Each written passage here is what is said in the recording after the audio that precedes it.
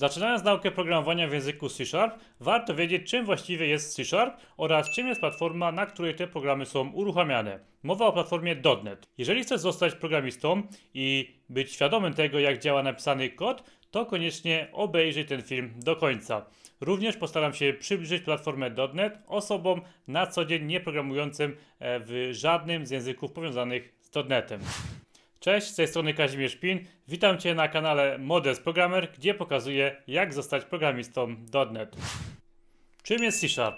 C Sharp został pierwotnie opracowany przez Microsoft jako język z rodziny .NET. Jest to dość łatwy język, często polecany osobom, które chcą zacząć swoją przygodę z programowaniem.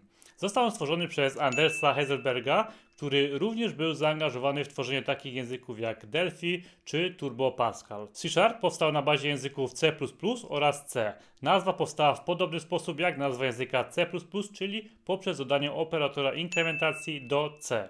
Do nazwy języka C Sharp został zastosowany podobny mechanizm, to znaczy do C++ został dodany operator inkrementacji i w taki sposób powstał symbol hash. Ma przypominać cztery połączone symbole plus. Początkowo C Sharp był bardzo podobny do Java, ale z biegiem czasu podobieństwo staje się coraz mniejsze. Jest językiem obiektowym, który przypomina C++, z tym, że moim zdaniem na pewno jest łatwiejszy do nauki. Program napisany w języku C Sharp jest kompilowany do języka Intermediate Language, czyli kodu pośredniego, wykonywanego w środowisku uruchomieniowym .NET. Czym jest .NET Framework? .NET Framework jest to platforma programistyczna opracowana przez Microsoft i wydana w roku 2002. Obejmuje Common Language Runtime, czyli środowisko uruchomieniowe, na których działają napisane programy, a także biblioteki klas, które implementują typowe funkcjonalności wykorzystywane w aplikacjach .NET. Wspomniane biblioteki to zbiór funkcjonalności i metod, które ułatwiają pracę programistom, dzięki którym możesz użyć gotowych już implementacji. Zadaniem platformy .NET jest m.in. zarządzanie kodem aplikacji, pamięcią i zabezpieczeniami. Programy na platformę .NET mogą być napisane w różnych językach, takich jak C Sharp, F Sharp, Delphi 8, Visual Basic.NET, COBOL, Fortran, Lisp czy Perl. Pozwala na to właśnie idea wykorzystania wspólnego języka, tzw. Tak Common Language Specification. Najbardziej popularnym z wymienionych języków jest właśnie język C Sharp. Języki te są tłumaczone na Intermediate Language, a dopiero Intermediate Language jest uruchamiany przez Common Language Runtime.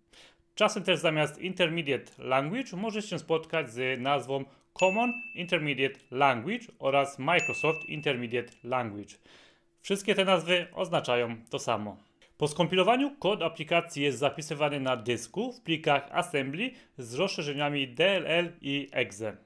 .NET jest implementacją Common Language Runtime na system operacyjny Windows aby móc uruchomić aplikację na innym systemie operacyjnym, na przykład na Linuxie, kiedyś było trzeba skorzystać z Mono i był to proces dość skomplikowany. Od kilku lat jest również dostępny .NET Core, dzięki któremu aplikacje mogą działać na różnych systemach operacyjnych, takich jak Windows, Linux czy Mac.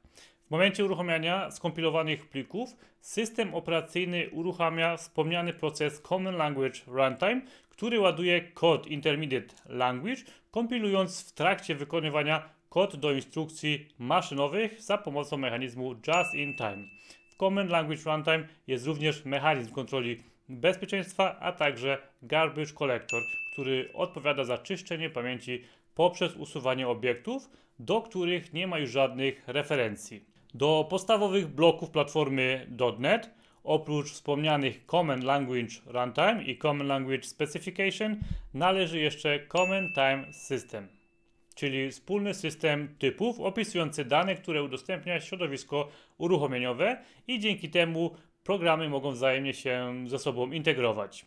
Ostatnim blokiem platformy jest także Common Language Infrastructure, czyli standard tworzenia komponentów w .NET. .NET Core .NET Core został wydany w roku 2016 i jest to otwarte oprogramowanie, co ważne, wieloplatformowe, dzięki któremu możesz właśnie tworzyć i uruchamiać swoje aplikacje napisane m.in. w C Sharpie na platformach Windows, Linux i macOS. Ponadto do NetCore zostały zoptymalizowane biblioteki i środowisko uruchomieniowe, także aplikacje tworzone w .NET są jeszcze bardziej wydajne. Jak wspomniałem, kod źródłowy .NET Core jest otwarty i udostępniony na GitHubie. .NET 5. W roku 2020 doszło do małej rewolucji, ponieważ został wydany .NET 5, który można powiedzieć połączył .NETA z .NET Corem. Teraz co roku ma być wypuszczana nowa wersja, kolejna jest spodziewana pod koniec obecnego i będzie to .NET 6. Także na pewno wprowadzi to trochę porządku, ponieważ różne wersje .NET Frameworka i .NET Core'a wprowadzały trochę zamieszania w ostatnich latach. Szczególnie osoby, które zaczynały naukę programowania, miały problem, żeby rozróżnić poszczególne wersje, także to na pewno jest duży plus. Jeżeli chodzi o narzędzia, które potrzebujesz do programowania w C-Sharpie, to najpopularniejszym środowiskiem programistycznym, tak zwanym IDE, dla programisty .NET jest Visual Studio, które również używam na co dzień i polecam Tobie. Dla własnego użytku możesz użyć darmowej wersji Visual Studio Community, które zawiera wszystkie potrzebne funkcjonalności. Według ankiety przeprowadzonej przez Stack Overflow, Visual Studio jest używane przez około 31,5% wszystkich programistów, co jest bardzo dobrym wynikiem. Visual Studio bardzo ułatwia pracę programiście, innymi wyświetla podpowiedzi, IntelliSense, podpowiada i koloruje składnie, znajduje błędy i pozwala debugować kod, a także posiada wbudowaną konsolę. Jeżeli nie wiesz jak zainstalować Visual Studio, to zerknij do poprzednich moich filmów. W jednym z nich pokazywałem jak krok po kroku zainstalować to oprogramowanie. Jakie aplikacje można pisać w języku C Sharp? C Sharp jest językiem ogólnego przeznaczenia, to znaczy, że można pisać w nim e, różne aplikacje, takie jak aplikacje webowe, desktopowe, mobilne, a nawet gry. Na początek, dla poćwiczenia podstaw i utrwalenia składni, polecam Ci zacząć od prostych aplikacji konsolowych. Za pomocą frameworka ASP.NET możesz również pisać aplikacje webowe. Tutaj polecam Ci zacząć od ASP.NET Core lub ASP.NET MVC.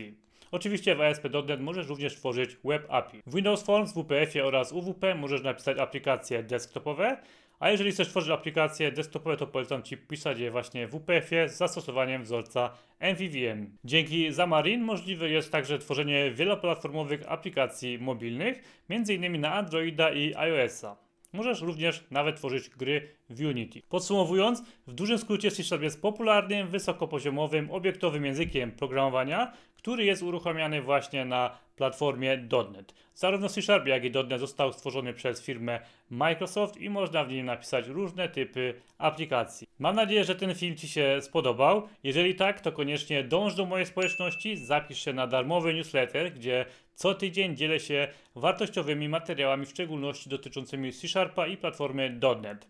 Nie ominą Cię też wtedy żadne nowe materiały i bonusy. Zapisy są darmowe, a link widoczny jest również w opisie pod tym filmem. To wszystko na dzisiaj. Do zobaczenia w kolejnym materiale.